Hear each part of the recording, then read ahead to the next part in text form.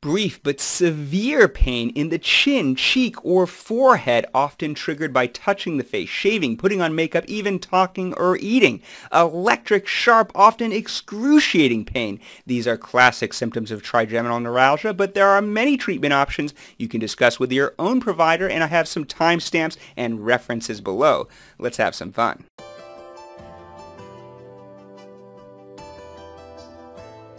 Pain in trigeminal neuralgia comes from the trigeminal nerve or fifth cranial nerve, which arises from the pons in the brainstem and has three major sensory branches, the ophthalmic, maxillary, and mandibular branch, which is why pain is usually localized to one of these three areas. There are many other causes of facial pain, such as dental problems or trigeminal autonomic cephalgia, so self-diagnose at your own risk. But if you have pain triggered by a very superficial light touch, or if you have a refractory period, in other words, immunity to pain after an attack, that supports the diagnosis of trigeminal neuralgia. In so-called classic trigeminal neuralgia, a blood vessel lies in close proximity to the trigeminal nerve, and as the heart beats, it irritates the nerve, causing the protective myelin sheath to wear down over time, making the nerve dysfunctional over time and prone to neuropathic pain. Sometimes an abnormal blood vessel, in particular a branch of the superior cerebellar artery, can form a vascular loop irritating the nerve. There are also secondary causes of trigeminal neuralgia, such as multiple sclerosis,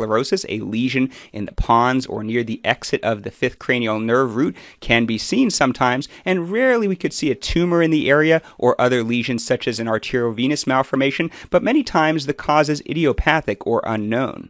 This diagram shows classic trigeminal neuralgia with a blood vessel in close proximity to the trigeminal nerve, irritating the nerve, and sometimes we can see this on MRI. This is a T2 axial MRI of the brainstem, and you can see the pons, and a blood vessel in very close proximity to the trigeminal nerve, and sometimes a T2 axial fiesta MRI can show an otherwise invisible vascular loop, and surgeons who perform microvascular decompression, which I'll discuss later, often report an aberrant blood vessel vessel, even if the MRI appeared to be normal.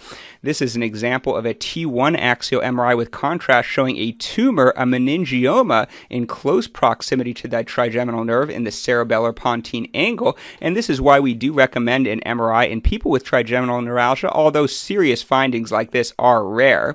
This is an example of multiple sclerosis, a T2 FLAIR MRI showing a multiple sclerosis plaque in the lateral pons and cerebellar pontine angle. And and this is associated with trigeminal neuralgia. You can see it on coronal views here as well. Some people have infrequent attacks of TN and don't desire any treatment, but for people with more frequent attacks that are debilitating, there are many prescription medications available. And the most commonly used drug is carbamazepine or Tegretol, which is a decades old treatment that has a long safety history. The typical dose is 100 to 600 milligrams twice daily, and it works by blocking voltage gated sodium channels involved in nerve pain transmission.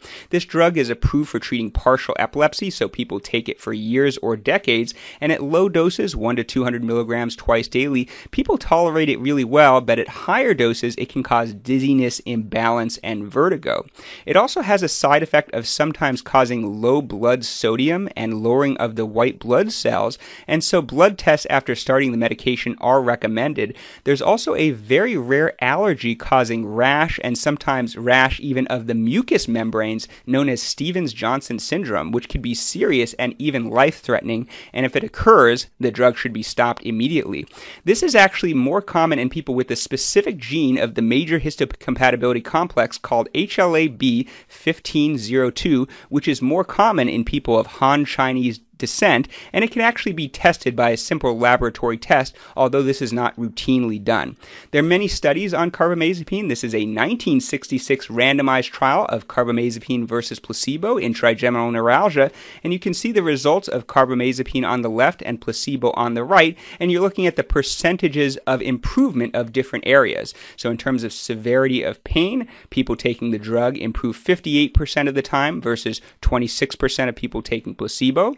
In terms of number of attacks, it was reduced in 68% of people taking the drug versus 26% in placebo, and provocation by various factors were also improved by the drug, such as eating, talking, contact with the face, and so forth. So carbamazepine definitely is effective in many people. Another seizure medication, oxcarbazepine or Trileptal, which is very similar to carbamazepine, is also used for trigeminal neuralgia, and it has exactly the same side effects except that low blood sodium is more common, but low white blood cells is less common. And in two randomized controlled trials, 88% achieve reduction in attacks by greater than 50%, which is pretty good, although sometimes these drugs lose their effect over time.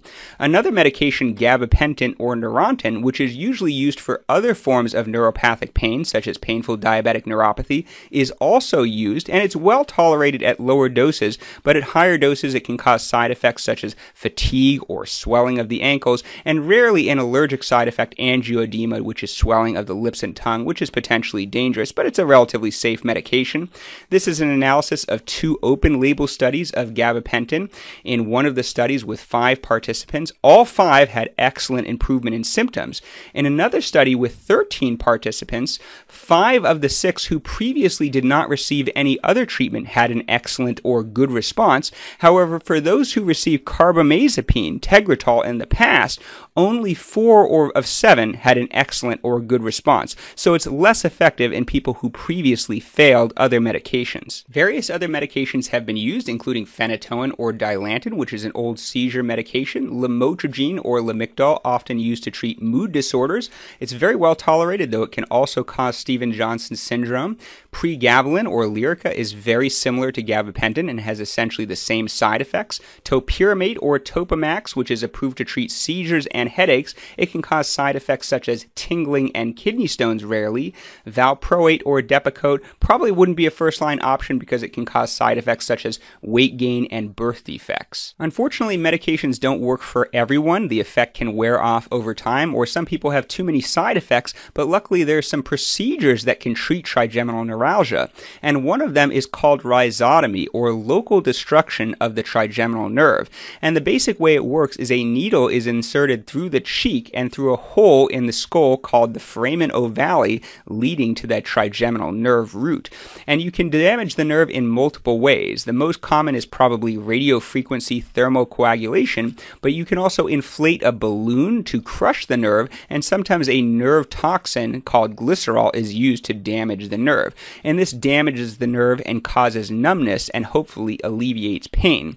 And it's actually possible with some of these procedures, such as radiofrequency thermocoagulation or ballooning, to damage a selective part of the nerve that is contributing to the pain. For instance, if you have pain in the chin, the V3 or mandibular portion of the nerve can be selectively damaged.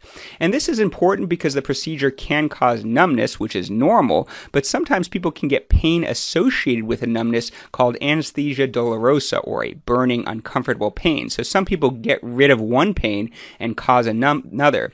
And if you have damage to the ophthalmic portion of the nerve, you can actually get numbness of the cornea and impair the normal protective reflexes of the cornea and get secondary corneal injury. However, the treatment is quite effective. The probability of being pain free after one year, based on various studies, is 68 to 85%. However, it becomes less effective over time. So after three years, it's about 54 to 64% effective and about 50% effective after five years. However, it works right away. People often have pain relief immediately after the procedure, and it can be used for any cause of trigeminal neuralgia, whether it's due to multiple sclerosis or vascular loop or idiopathic. This should work for everyone with trigeminal neuralgia. And this is a fluoroscopic image of the procedure being performed. You can see the probe through the foramen ovale, and you can see the balloon being inflated to damage the trigeminal ganglion, and this is technically difficult, though it's not blind. It's being done with fluoroscopic imaging to confirm the location of the probe. A different way to damage the nerve is with focused radiation therapy, and there are different ways to do this, but the most common is gamma knife radiosurgery, and 70 to 90 gray of radiation are delivered to the proximal trigeminal nerve root, and it is effective, but pain relief is often delayed by one month or sometimes even longer. However, it does work. Complete pain relief was reported in 69% receiving the procedure at one year, but it becomes less effective over time as the nerve recovers, and it was only 52% effective at three years, and this is my clinical experience that often the nerve pain comes back over time, especially in people who have had the disorder for a long time. But it's a good option for people who don't want an invasive procedure or if people are taking blood thinning medications or have other contraindications to procedures. This is an image of someone undergoing stereotactic gamma knife radiation, and this is the Novalis face mask, which can also be used to keep the head still so the radiation is delivered right at the trigeminal nerve, maybe not the best for people who are claustrophobic. Now, the most aggressive but often the most effective treatment in the long run is an open surgical procedure called MVD or microvascular decompression. Now, this is only going to be used for people with classic trigeminal neuralgia where a blood vessel is irritating the nerve. It's probably not going to be effective for people with multiple sclerosis, but even if the MRI looks normal, many surgeons report that a blood vessel is often there and irritating the nerve, and often an indentation on the nerve can be seen. So basically, an open surgery is performed where a hole is made in the skull and the aberrant blood vessel is identified, separated from the trigeminal nerve, and a pad is inserted between the blood vessel and the nerve so the nerve can repair over time. And it's reported to be 90% effective up front, but long term remission may be less, maybe 50 to 70%, depending on the case series. My experience is very good with these procedures. Most of my patients did have long term remission. The annual recurrence rate of pain after the procedure is reported to be about 3.5%. Of course, this is a surgery, and complications can include numbness of the face, infection of the meninges or meningitis, or even a spinal fluid leak, or sometimes injury to other nearby cranial nerves, such as the facial nerve, causing facial weakness, or hearing loss. This is an intraoperative video of a microvascular decompression. You can see the superior cerebellar artery pulsating and irritating the trigeminal nerve. The surgeon will separate the artery from the nerve and then place a Teflon pad in to protect the nerve from future irritation from the artery. The side effects of the different interventional treatments were analyzed in this meta analysis of 14 trials with a total of 2,785 treatments, and they're color coded. You can see in white are the rhizotomy treatments, also known as percutaneous Gasserian lesions. In black is microvascular decompression, the open surgery, and in green is gamma knife surgery. And you can see that the gamma knife surgery, the radiation treatment, is really the safest, mainly just causes numbness of the face.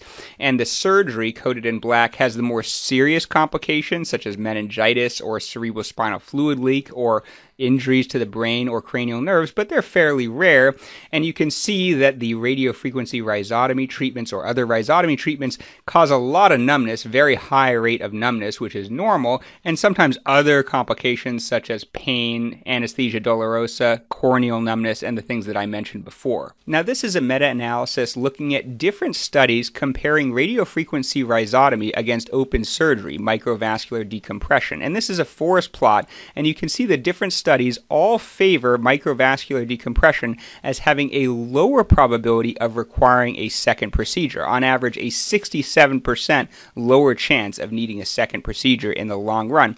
And not all of these studies were statistically significant, but if you take them all together, they strongly show that open surgery, microvascular decompression, is the most effective.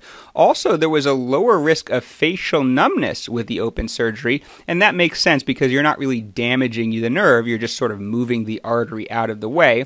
However, there was a greater risk of side effects, adverse events with the open surgery, so it's more effective in the long run, but has a greater risk, particularly when you're talking about risk of serious complications, and some people aren't a great candidate for the surgery in general. And if you have any further questions, please post in the comments below, and if you have trigeminal neuralgia, and if you've tried some treatments or others that I didn't mention here, please share your own experience and let me know if you have any suggestions for future videos.